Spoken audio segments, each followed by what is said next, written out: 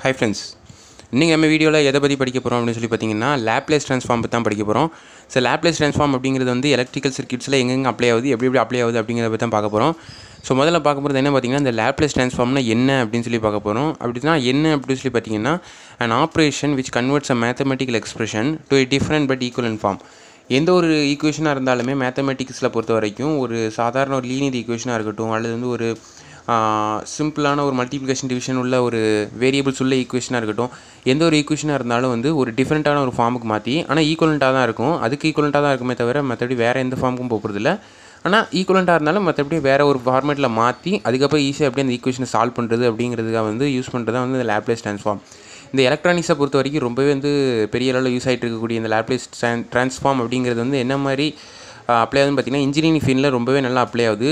Differential equation partial differential equation integral equation இப்படி எல்லா ஈக்குவேஷனுமே வந்து நம்ம ஈஸியாக லேப்லேஷன் ஃபார்ம் யூஸ் பண்ணி சால்வ் பண்ணலாம் அப்படிங்கிறது இதுலேருந்து நம்ம தெரிஞ்சக்கூடிய ஒரு விஷயம். ஸோ லேப்லேஸ் ட்ரான்ஸ்ஃபார்முக்கு பேசிக்காக என்ன வேணும்னு சொல்லி பார்த்தீங்கன்னா ஜஸ்ட் ஒரு ஃபங்க்ஷன் வேணும் நமக்கு with reference to a time t அதான் இங்கே பார்த்தீங்க அப்படின்னா function f of t be a function at t greater than or equal to zero அதாவது ஸ்மால் டி அப்படிங்கிற ஒரு டைமில் எஃப் ஆஃப் ஸ்மால் டி அப்படிங்கிற ஒரு ஃபங்க்ஷன் வந்து நமக்கு இருக்குது சரிங்களா? அதுக்கு தான் வந்து நம்ம லேப்லெஸ் ட்ரான்ஸ்ஃபார்ம் கண்டுபிடிக்க போகிறோம் நார்மலாக எஃப் ஆஃப் டிங்கிற ஒரு ஃபங்க்ஷனுக்கு லேப்லெஸ் ட்ரான்ஸ்ஃபார்ம் நம்ம கண்டுபிடிச்சோம்னா இதுதான் அந்த formula L of f of t equal to integral zero to infinity e power minus st f of t into dt இதில் பார்த்தீங்கன்னா எல்லாமே வந்து உங்களுக்கு தெரிஞ்ச ஒரு டி ஃபங்க்ஷனாகவே தான் இருக்குது இந்த எஸ் மட்டும் தான் வித்தியாசமாக இருக்குது கரெக்டாக அந்த எர்த் அந்த எஸ் அப்படின்றது வந்து என்னன்னு சொல்லி பார்த்தீங்க அப்படின்னா அது வந்து ரியலாகவும் இருக்கலாம் அது வந்து காம்ப்ளெக்ஸாகவும் இருக்கலாம். ஏதாவது எந்த ஒரு ஃபார்மேட்டில் வேணாலும் இருந்துக்கலாம். அது வந்து லேப்லேஸ் ட்ரான்ஸ்ஃபார்மோட ஒரு இம்பார்ட்டன்ட் பேராமீட்டர் நீங்கள் கீழே பார்த்தீங்கன்னா தெரியும். அதை வந்து நீங்கள் க கன்வெர்ட் பண்ணும்போது L of f of t equal to F of s அப்படின்னு சொல்லி போட்டிருக்காங்க இல்லையா? So small f of small f t அப்படிங்கிறது வந்து equal to small greater than sorry capital F of capital S அப்படிங்கிறது அந்த டிரான்ஸ்ஃபர்மேஷன் அப்படிங்கிறது இதுலேருந்து உங்களுக்கு தெரியுது. ஹென்ஸ் இதோட டிரான்ஸ்ஃபர்மேஷன் என்றைக்குமே வந்து இதை அந்த கேபிட்டல் ஃபார்மேட்டில் மாற்றணும் அப்படிங்கிறது தான் இதோட ஒரு ஈஸியான ஒரு மெத்தட் அடுத்து என்ன பார்த்தீங்கன்னா இன்வர்ஸ் லேப்லேஸ் ட்ரான்ஸ்ஃபார்ம் இன்வர்ஸ்னால் அப்படி தலைகீழ போடுறது. அது எப்படி போடுறாங்க பார்த்தீங்கன்னா ஒன் பை எஸ் அப்படிங்கிறது லேப்லேஸ் இன்வர்ஸ் லேப்லேஸ் ட்ரான்ஸ்ஃபார்ம் வந்து ஒன்று one by s into s போட்டிங்கன்னா கேன்சல் ஆகிரும் இல்லையா? அப்போ ஒன்று தான் வரும். One by s plus a வந்து எதுக்கு எப்படின்னு சொல்லி பார்த்தீங்கன்னா இ போர் மைனஸ் எயிட்டி அது இது one by s into s plus ஏன்னு பார்த்தீங்கன்னா one minus e power minus eight t இது எதுக்கு நான் சொல்லிட்டு இருக்கேன்னா அடுத்தபடியாக நம்ம எலக்ட்ரிக் சர்க்கியூட்ஸில் வந்து சால்வ் பண்ண போகிறோம் அந்த இதை. அதனால் வந்து இந்த இதை வந்து கரெக்டாக நான் சொல்லிட்டு இருக்கேன். ஸோ வாங்க அடுத்து வந்து எலக்ட்ரிக்கல் சர்க்கியூட்ஸில் எப்படி அப்ளை பண்ணி ஒரு சொல்யூஷன் கண்டுபிடிக்கிறாங்க அப்படிங்கிறத பார்க்கலாம். ஸோ அடுத்து பார்த்திங்கன்னா வந்து எலக்ட்ரிக்கல் சர்க்யூட் ஒன்று வரைஞ்சிருக்கேன். ஸோ பாருங்கள் ஒரு ரெசிஸ்டன்ஸ் ஒரு இண்டக்டன்ஸ் வந்து சீஸில் இருக்குது இது வந்து சுவிட்சை டைம் டிக்கல் ஜீரோ அப்படிங்கிறதெல்லாம் வந்து க்ளோஸ் பண்ண போகிறாங்க அப்படிங்கிறது நல்லாவே தெரியுது.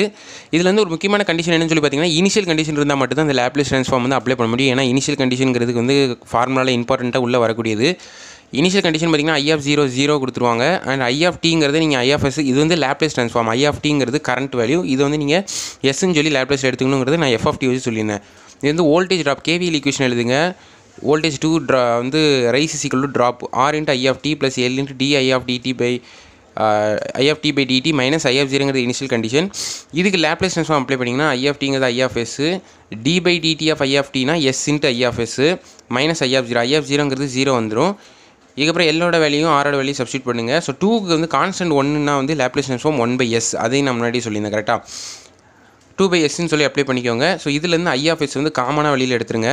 எடுத்துட்டிங்கன்னா இப்படி ஒரு ஈக்குவேஷன் கிடைக்கும் கரெக்ட். ஃபைனலாக உங்களுக்கு. இப்போ உங்களுக்கு s into s plus a ஃபார்மெட்டுக்கு நீங்கள் கொண்டு வாங்க. அப்படி கொண்டு வரும்போது உங்களுக்கு எப்படி வரும் அப்படின்னு சொல்லி பார்த்தீங்கன்னா டூ வந்து காமனாக வெளியில் எடுத்துட்டிங்கன்னா டூ டூ கேன்சல் ஆயிரும். One by s s into s plus five by டூன்னு வரும். One by s into s plus ஏன்னா formula one minus e power minus எயிட்டின்னு சொல்லணும் இல்லையா? அது அந்த format so i of t இது இன்வர்ஸ் அப்ளை பண்ணி அதுக்கப்புறம் கண்டுபிடிச்சிங்க இப்போ நீங்கள் கண்டுபிடிக்க வேண்டிய ஐ ஆஃப் டிங்கிறது இதான் இதோட ஆன்சர் அப்படிங்கிறத நான் கடைசியாக சொல்லி முடிச்சுக்கிறேன்.